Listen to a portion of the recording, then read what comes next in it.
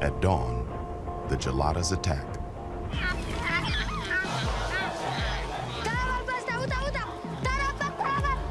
The first strike comes from a few large males who target Dereje's haystacks. He drives them off, but these males were only a decoy.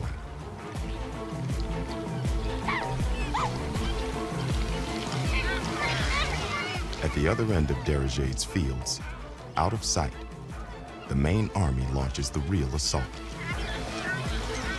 Dereje has left one field exposed and doesn't realize it until too late.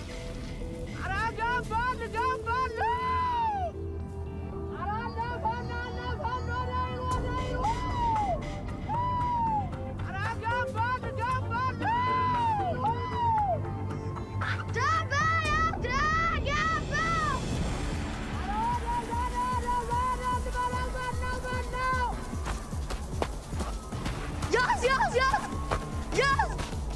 Yes! Yes! Knows it's up to him to stop the raid Yes! Yes! and that every second counts. Yes! Yes, yes, yes!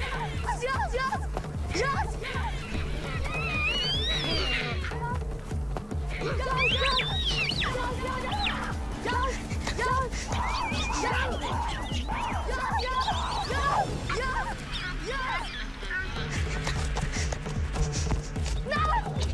geladas retreat. Dereje has done his job.